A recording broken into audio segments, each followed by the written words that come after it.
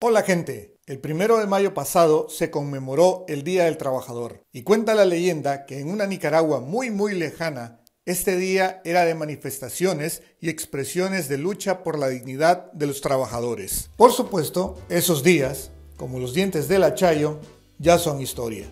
Actualmente esta fecha pasa con penas, sin glorias y calladita. Un silencio impuesto por la cobardía y la complicidad de los ya mal llamados sindicalistas, que si acaso abren la boca, es para alabar a los verdugos de la clase trabajadora y para obligar a ésta a besar el látigo del patrón del Carmen y encima agradecerle eternamente por los riendazos que tan generosamente les procura. Lo único bonito que subsiste de este día es que es feriado, un gusto que dura menos que un mordisco a un algodón de azúcar. Y eso para quienes pueden dárselo, porque la inmensa mayoría en el subempleo tiene que darle incluso más duro que otros días a la parrilla, la motito y la bandeja para aprovechar aquellos posibles clientes que por no cocinar o salir de la rutina salen a buscar el pollo frito, tirarse una cerveza o pedir a domicilio una pizza con Coca-Cola 2 litros, que para eso es reales. La realidad es que en la Nicaragua de hoy cada vez es más duro encontrar empleo, más duro todavía encontrar uno bien remunerado y más durísimo todavía, uno donde sintas que estás haciendo algo que vale la pena, que te llena algo más que la barriga y que te tratan con dignidad.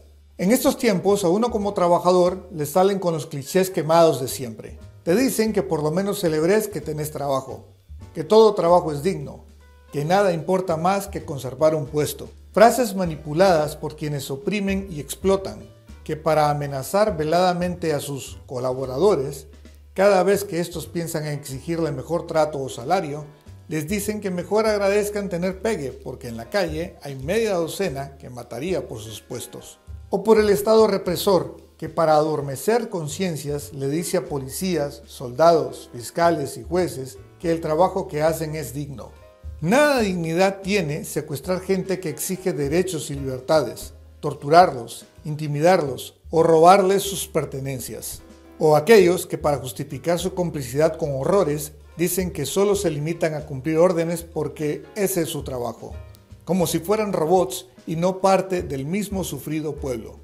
Ni la inteligencia artificial es tan desalmada.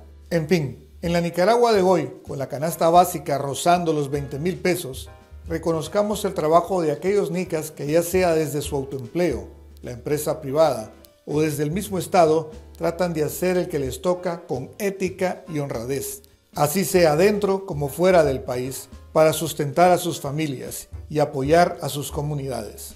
Y recordar que el trabajo más importante es luchar por una Nicaragua donde se respeten los derechos laborales, donde el empleo formal florezca y se robustezca, y donde los salarios sean tan dignos como los empleos que los generen. Es decir, una Nicaragua libre de dictaduras, y que ese trabajo nos toca a todos los nicaragüenses que soñamos con algo más que el pollo y la Coca-Cola. Viva Nicaragua libre. Cambio y chao.